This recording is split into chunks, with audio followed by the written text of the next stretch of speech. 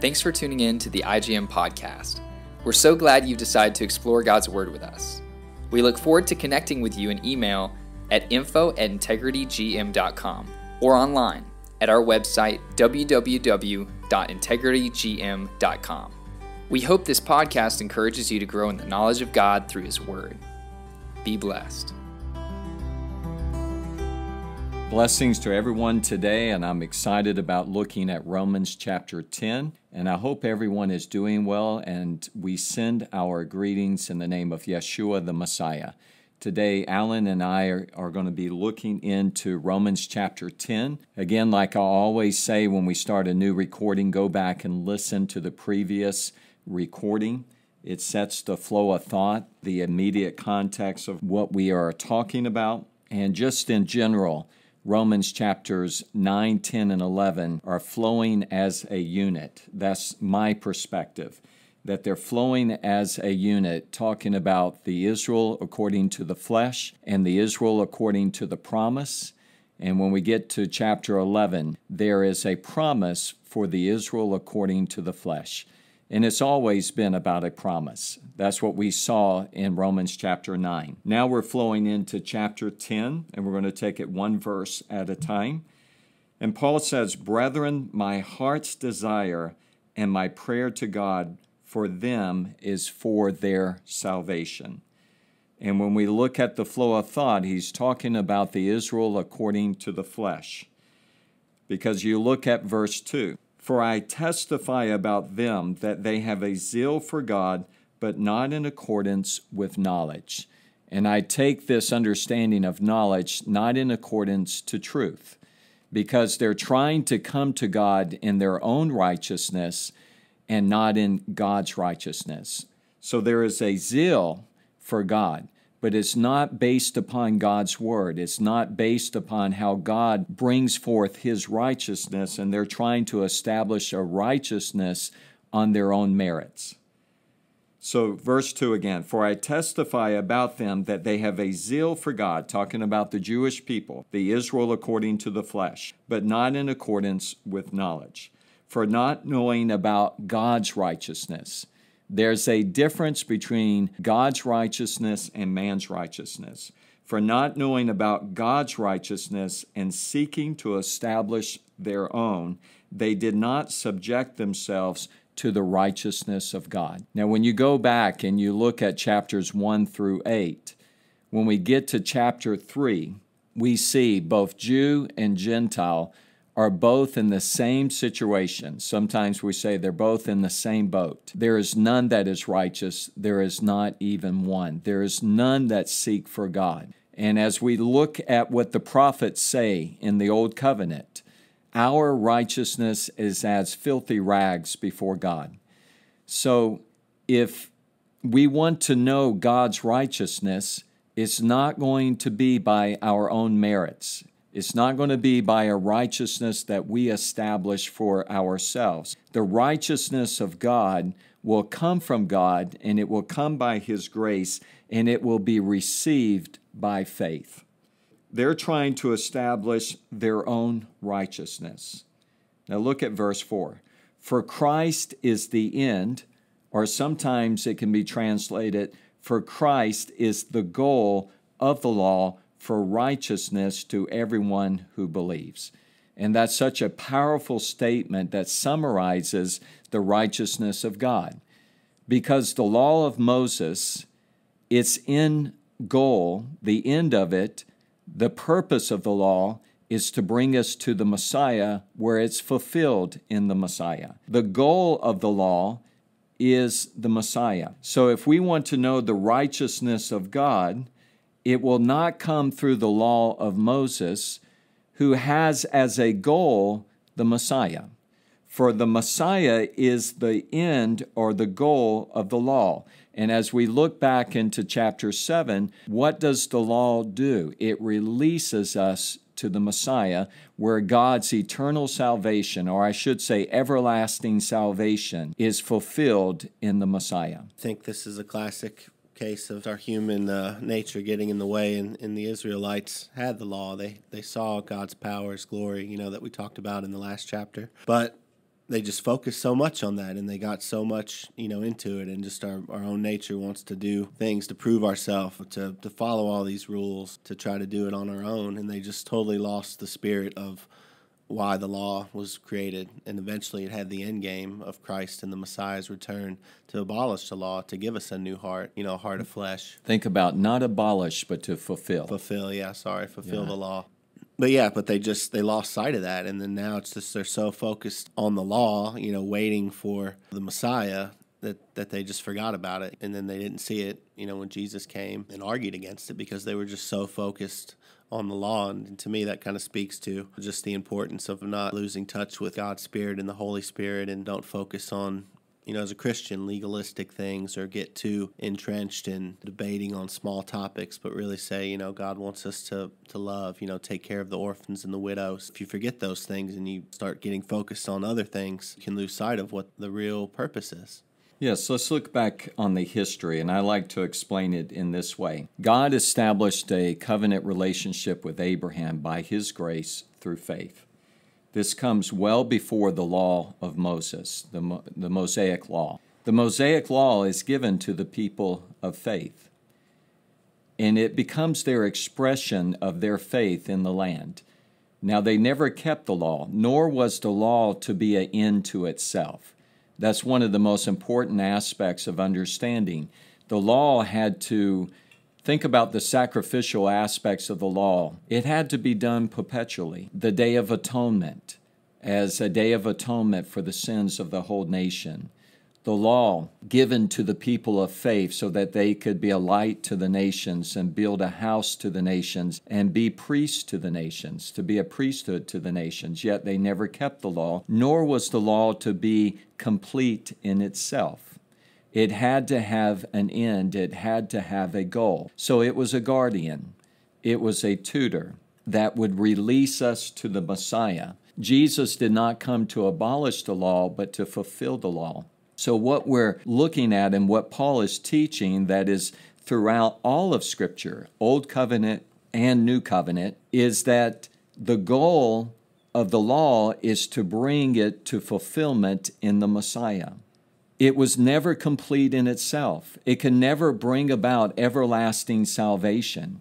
It could never make a person stand before God holy and righteous by itself. It needed to have the fulfillment of the law. The law expresses the holiness of God. It makes sin utterly sinful. It had laws about every aspect of the nation of Israel that they should follow from the dietary laws to the ceremonial laws, the sacrificial laws, the judicial laws, the moral laws, the Sabbath laws. We can go on and on. All of these laws should have been implemented within the life of Israel as a people. But still, if they had kept all of the law, if they had been faithful to God, it was still not complete in itself. Its completion is in Christ is in the Messiah. So when we look at verse 4, for the Messiah is the goal of the law for righteousness to everyone who believes. That means all the things of the law that was never kept, which if they did keep it would never make Israel complete in themselves, is now fulfilled in their Messiah. However, the Israel according to the flesh is rejecting God's righteousness. Jesus is God's righteousness, and they're trying to establish a righteousness of their own. Now, let's talk about the law of that day. It was not just the Mosaic law, it was also the oral law or the traditions of the elders. So in Rome, there would have been a synagogue or synagogues, plural. What do they practice? They practice the oral law that is taught by the rabbis and they give them a way of really being blameless before God by keeping the oral law. The oral law does not keep the spirit of the law, but technically, a person can say that I have kept the letter of the law. And, and Scott, just to be clear, if someone's new listening, the, the oral law was something man made. It's not a scriptural backing Yes. of any of it. It was just made up by the rabbis, by the Pharisees. Yes, I'm glad you brought that up because it is a man made tradition, man made righteousness that developed primarily in the second century BC that says that there are no more prophets. And we, as rabbis, we're teachers, and the law has come to us that was passed down from Moses all the way to us, this oral law, and we are the voice of God on earth, and that we can only interpret the law of Moses, and you have to follow what we are saying. And many aspects of this oral law breaks the spirit of the law that Jesus always deals with them about you break the spirit of the law. You're keeping the letter of the law, but you're breaking the spirit of the law. And I think I have explained it in this way many times if you have listened to me in the past on the recordings. How does the oral law function? Let me try to explain it. I'm a father and I have a law for my children, and they're in my house. And I say to my children, I'm leaving for two hours. And I'm telling you, Shelby, Abby, and Cole, don't you go outside of this front door. Don't you go out of this door. I'm going to, be gone for two hours, but don't you go out of this door. Now, what am I telling them? Don't leave the house. Okay. So I tell them that, and then I get back after two hours and they're in the backyard playing baseball or playing some type of game, and I'm furious. And then my children look at me and say, well, But daddy, you did not say that we could not go out the windows. That's exactly how the oral law functions in many ways. So technically, they kept the law, didn't they? They did not go out the front door, but they jumped out of a window. But what did they break? They broke the spirit of the law, and by breaking the spirit of the law, they broke the law. So the oral law functioned in a way that you technically kept the letter of the law, but you're constantly breaking the spirit of the law. And that's why Jesus deals with that over and over with the Pharisaic movement. It was a movement that Jesus says, My Father did not plant them, and it comes with a promise, and what my Father has not planted will be uprooted there's a promise that one day that this blindness that has come over the Jewish people will be uprooted. And I know that that day is coming. The Pharisaic movement tries to establish a righteousness of their own where they can say that we are righteous, we are pious, we are blameless before God. Think about how Paul describes himself, his past life in Philippians. He says, from the nation of Israel, from the tribe of Benjamin a Pharisee of Pharisees, according to the law, blameless. That was their system. He came from that background. But he counted all of his identity that was under attack by the Jewish community, the Israel according to the flesh, he counted as trash, as rubbish, in order to know Christ, in order to know the Messiah. So the end goal, the goal or the end of the law for righteousness comes by faith in Christ. And when we come to faith in Christ, all of the righteous requirements of the law are fulfilled in him. Now let's go on to verse 5. For Moses writes that the man who practices the righteousness which is based on law shall live by that righteousness. We see that many times throughout the first five books, but Leviticus chapter 18, verse 5. And remember, if you're practicing a righteousness based on law, on the law, and there's many, many Christians, when I say Christians, followers of Christ, that are saying today that you have to be under the law and you have to live by the law. Well, do not pick and choose which laws you want to keep and which laws that you do not want to keep. You have to keep the whole law. And he makes that very clear in Galatians. Let me read this verse again. For Moses writes that a man who practices the righteousness which is based on law shall live by that righteousness, live by the whole law. And you'll find out the law is not complete, but the Messiah is our completeness. But the righteousness based on faith speaks as follows. Now, listen to the next few verses because he's going to be quoting from Deuteronomy chapter 30, verses 12 and 14, talking about the commandments of God. So he's taking that principle and applying the same principle of faith about the Messiah. But the righteousness based on faith speaks as follows Do not say in your heart, Who will ascend into heaven? That is to bring the Messiah down. Who will descend into the abyss? That is to bring Christ up from the dead. It's not what you can do. Who's going to go into heaven and bring the commandment of God down? Who's going to uh, descend into the abyss to bring the commandments of God up? No, that's not what it's all about. It's not about what you do. It's not about you ascending into heaven to bring the Messiah down or going to the abyss in order to bring Christ up from the dead. Verse 8 But what does it say? The word is near you, in your mouth and in your heart. That is the word of faith which we are preaching. He's saying you don't have to go up into heaven. You do not have to go down in she- into Sheol. You Sheol. You don't have to go anywhere like that. The word of God is right here. It's in your mouth. It's in your heart. And what is that? Verse eight.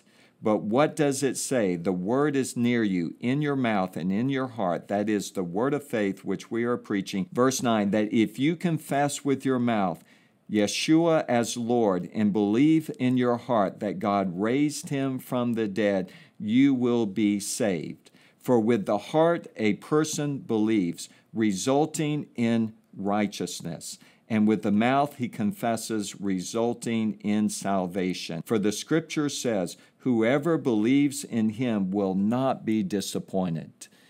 Quoting from Isaiah 28. For there is no distinction between Jew and Greek, for the same Lord is Lord of all, abounding in riches for all who call on him. For whoever will call on the name of the Lord will be saved. And that's Joel chapter 2. So let's try to summarize this. There's nothing that I have to do to go up into heaven, to go down into the abyss. The word of faith is right here. It's in my mouth, it's in my heart. What is that? I confess Jesus as Lord. I believe in my heart because it's with the heart that man believes that God raised him from the dead. I believe in my heart that he's alive, he's resurrected, he's the resurrection and the life, and I am saved. Not by what I have to do in order to prove that he's alive or where I have to go in order to do something. I believe in my heart that Jesus is alive, and because he's alive, I know God's salvation. And it's with the heart a person believes. Now, that's one of the most powerful statements within the whole Bible. Think about if we go back to Jacob, James, the first letter written chronologically in the New Covenant. Even the demons believe that God is one and they shudder. You know, they have this knowledge, they have this understanding, they know who He is, but it's with the heart that man believes. True faith comes from the heart. It's not just a prayer that you say with your mouth, it also has to reside within your heart. What we confess is a definition or coming out of what lives within inside of us. With the mouth, we confess Jesus as Lord and believe in your heart that God raised him from the dead. What is being confessed with our mouth must live within inside of us. And so it's with the heart man believes. Yeah, and I think that that was always interesting for me and you know speaking to to different groups about it. And with your when your heart believes, it doesn't always have to make sense in your head. It's the interesting thing about that because you look at a you know someone being raised from the dead and Jesus dying, and to wrap your head around that from a natural standpoint just really doesn't make sense. It's hard to do. Um, and I think when that heart, feeling it and knowing it in your heart, you know, that's something that, that only the Holy Spirit I believe, can produce in a person through hearing truth and then that coming into your heart. So that's why it's always, you know, we always try to say that Scott or I can't save anybody. It's really the Holy Spirit that has to convict when we can speak truth to them or when they hear truth. And yes, we can guide them and, and tell them things, but we can't make that heart believe. That has it's to be their faith. Yeah, it's their faith, and that has to be a work of the Holy Spirit. And, and if you're open to that and you're seeking that, don't always, you know, don't don't don't get to the point where you feel like you have to understand it in your head 100%. if you're feeling that in your heart, you're feeling that it's true, feeling God pulling you to Him, just believe in your heart and confess it and, and let Him do the rest of the work. It doesn't have to be a full brain, head knowledge, understanding. Because, like you said, Scott, the demons, they fully understand with this, this head knowledge but in their heart they won't accept it. They won't believe that jesus is lord. Yes we we have to look at it in this way. You cannot separate your confession from what is going on within inside of you. Your heart is symbolic of who you are. It is a faith that comes from within inside of you.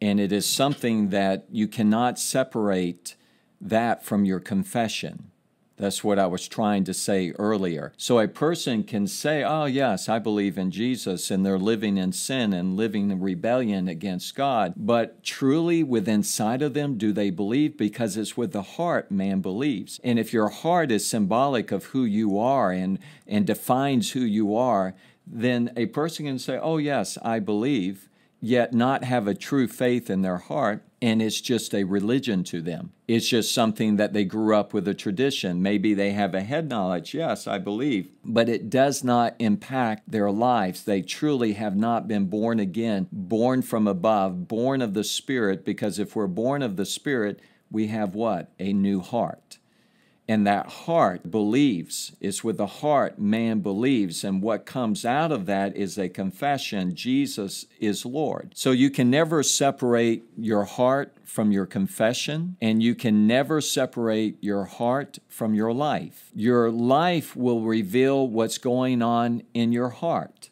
What comes out of our life reveals what? Our heart. That's Matthew chapter 15. That's everything within God's word. So it's very important that Paul says to the believers in Rome that it's with the heart a person believes, resulting in righteousness. This is God's righteousness that is coming to an individual, that God's grace has come to them, and they believe in their heart and confess with their mouth that Jesus is Lord and they believe that Jesus is alive, that person is saved. This is the righteousness of God. It's not man's righteousness, which is not a true righteousness. This is the righteousness of God that has come. And with the mouth he confesses, resulting in salvation. And I've never been disappointed in the Lord. I've never been disappointed in God's salvation. I have disappointed myself. I, I have disappointed others. Others have disappointed me. But I have never been disappointed at any point within my life of this confession and this faith that comes from the heart in the Lord Jesus Christ because it is the righteousness of God. And I can take refuge in Him. I can rest in Him, and God's peace has come to my life, and I will never be disappointed in the Lord Jesus Christ. So, whoever calls upon the name of the Lord will be saved. And make sure that that's flowing from your heart to your mouth, and it's a confession that is flowing out of who you are. Now let's turn to verse 14, and we're going to try to finish the whole chapter here today. How then will they call on him whom they have not believed? How will they believe in him whom they have not heard? And how will they hear without a preacher? How will they preach unless they are sent? So, this is really putting the responsibility back upon the believers with the Great Commission. Now, if you go back to chapter 9 and you think about that God arbitrarily chooses heaven or hell, mercy on one, and not having mercy on another person, and if it's not based upon his foreknowledge, it's just an arbitrary choosing of God, then why do we even go in the first place?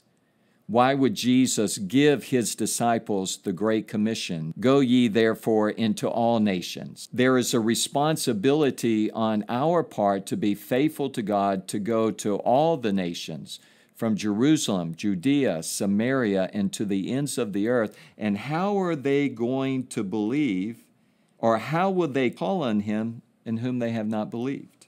Now look at the progression of this. How will they believe in him whom they have not heard? And how will they hear without a preacher? And how will they preach unless they are sent? There is a faithfulness to the call of God to go out with the good news. And then he's going to quote from Isaiah 52 How beautiful are the feet of those who bring good news of good things. And chapter 52 is leading up to the fourth song, the Hebrew song about the servant. And 53 is going to be the suffering servant of Israel. And what good news, the gospel is all there in Isaiah chapter 53. So we have to be committed and we have a responsibility to take this gospel to the ends of the earth, to take the truth of the gospel. If it's just an arbitrary choosing, then why do you even need to go in the first place? That's the reason why people that are wrapped up within Calvinistic theology, Reformed theology, they're wonderful believers. They love the Lord. But what I say to people, they're very handicapped when it comes to the Great Commission because we're going out with the good news, and blessed are the feet of those that bring good news. We do have the word of faith, and we're going out with this message of God's salvation, and we're preaching, and we're teaching, and we're praying, and we're laying hands on the sick, and we're praying in the name of Yeshua, the Messiah, and we're wanting to see the miracles of God come forth because they have not ceased like you see in many of those backgrounds of Calvinism and Reformed theology. No, they have not ceased, and the gifts have not ceased, and God's word is going forth, and there are signs and wonders and miracles that are following those who believe. And we go out understanding we have a great responsibility to bring the good news, and if we don't bring the good news, they may never hear. And you see this in verses 14 and 15 the responsibility that God's word is placing upon us to be about his business to the ends of the earth. Now let's look at verse 16. And I know I'll get some fight back on what I'm saying there, but this is the gospel. And the predestination of God is based upon his foreknowledge. And God has, in his sovereignty, has given mankind free will and choice. And we go forth with the message of the gospel, just like Isaiah did to his people, Jeremiah did to the Jewish people during his time. We are taking the gospel of Jesus and going to the ends of the earth. And we know that as we preach, and as we teach, the conviction of God's Spirit is going forth, and people have to make a decision. Are they going to have faith and as the conviction comes, some by their faith, their hearts are open. Some by rejecting, their hearts become hardened. And God is hardening the hearts of some and opening the hearts of others, but is coming with the truth of the gospel of the Lord Jesus Christ. Now let's move on here. Verse 16. However, they did not all heed the good news. For Isaiah says, Lord, who has believed our report? That's Isaiah 53, which is saying, Who has faith? Who's going to believe of this suffering servant that is coming, that's going to lay down his life for the sins of Israel, and not just for the sins of Israel, John the Baptist understood this, but for the sins of the world. Because he said, Behold the Lamb of God, which taketh away the sins of the world. And if you look at all four of those Hebrew songs in chapter 42, 49, chapter 50, chapter 53, and the last three verses of 52. It is all about God's salvation coming to the world. So, who has believed our report? Who's going to have faith? So, faith comes from hearing, in hearing by the word of the Messiah. Verse 18 But I say, surely they have never heard, have they? Indeed, they have. Their voice has gone out into all the earth, and their words to the ends of the world. Here in Psalm chapter 19, verse 4, it's about God's creation that is speaking about his existence. And you really have this understanding of Romans chapter 1, verses 18 through 32. Because from the very beginning, God revealed himself through the things that have been made. It speaks of his existence, but mankind refused to acknowledge God. And from that, God gave mankind over three times, leading to their own destruction. So, Psalm 19 is talking about the witness of all creation about who God is. Verse 19, but I say, surely Israel did not know, did they? First, Moses says this I will make you jealous by that which is not a nation. By a nation without understanding will I anger you. That's Deuteronomy chapter 32, verse 21. That here in Moses' song, that God will make Israel jealous by that which is not a nation. By a nation without understanding, a foolish nation, will I anger you. That's part of the Song of Moses. Then in verse 20, and Isaiah is very bold and says, I was found by those who did not seek me. I became manifest to those who did not ask for me. Isaiah 65, the first verse about God talking about, I was found by those who were not seeking me, and I made myself known or manifest to those who did not ask of me. And then he quotes the second verse, and this is a understanding of the Israel according to the flesh. But as for Israel, he says, all the day long I have stretched out my hands to a disobedient and obstinate people. That is the reality in Paul's day for the Israel according to the flesh. Now, there was a remnant that did believe, a remnant that took this gospel to the ends of the earth. However, as a nation, as a people, they are rejecting the promises of God. They are rejecting the promised one of God. They are rejecting the righteousness of God and the salvation of God that comes through faith. In Isaiah chapter 65, verse 2, Paul quotes this verse All the day long I have stretched out my hands to a disobedient and obstinate people.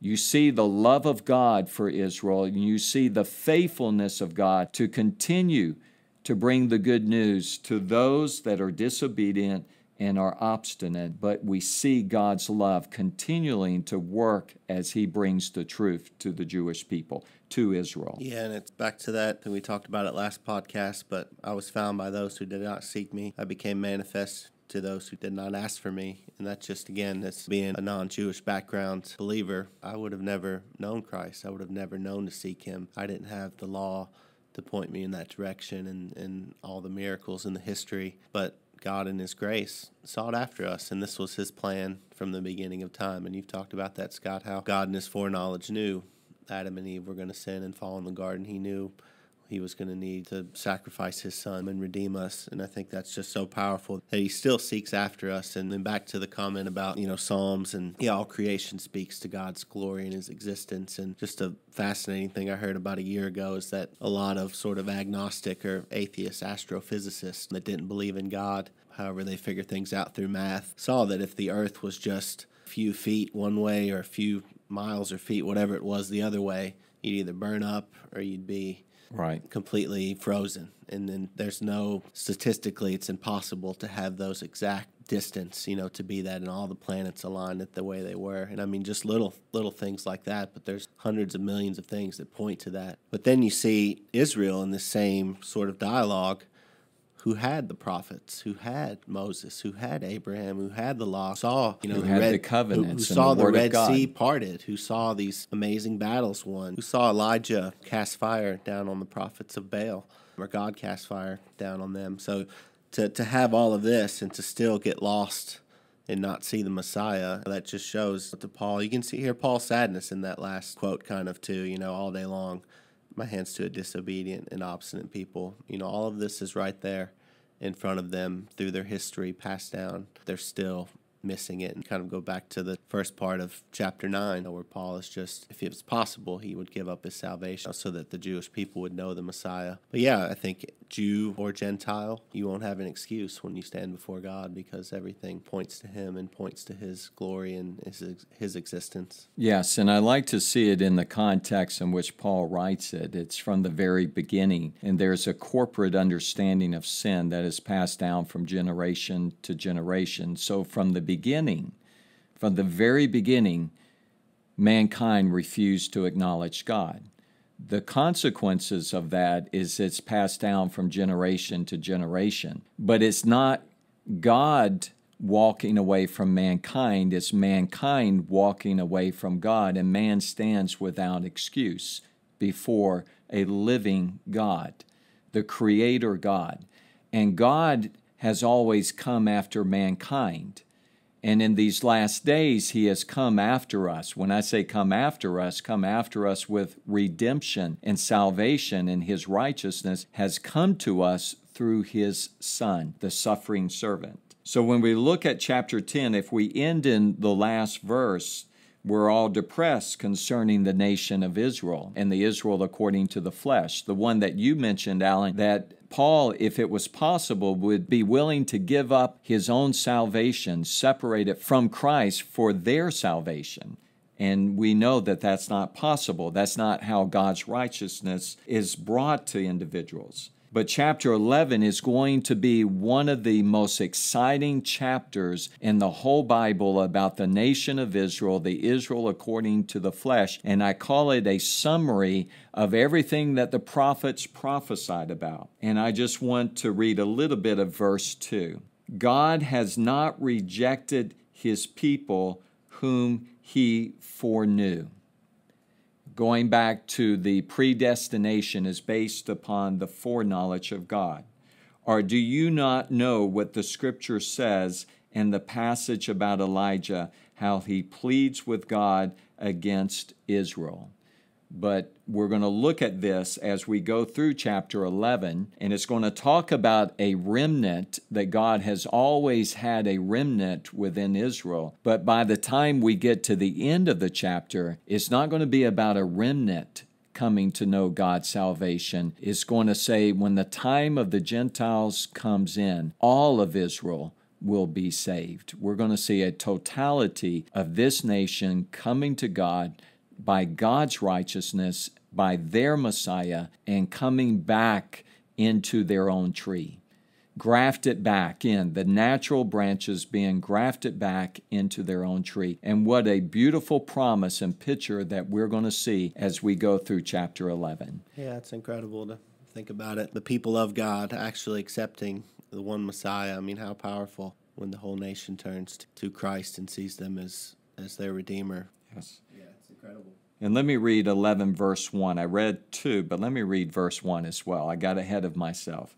I say then, God has not rejected his people, has he? May it never be.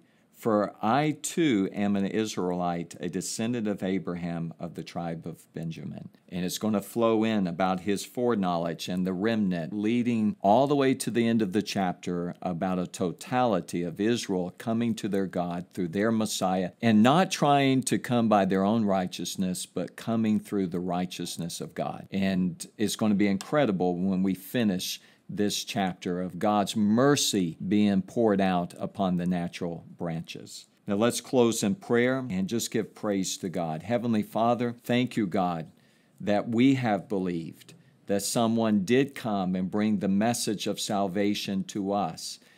And God, thank you for convicting our hearts and opening up our hearts. And thank you, Lord, that we were able to put our faith and trust in the Lord Jesus Christ. And He is our righteousness. And we do not stand on our own righteousness, but we stand in your righteousness. We stand in your grace. And by your grace, we are saved.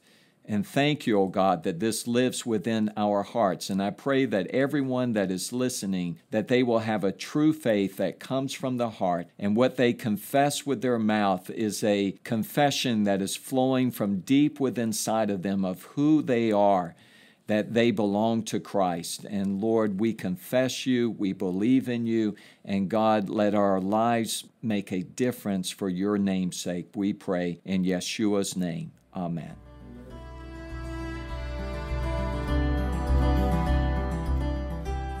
If you'd like to learn more about IGM or have any questions about this podcast, feel free to reach out to us at info at integritygm.com and connect with us on Instagram at integrity underscore global and Facebook at Integrity Global Missions.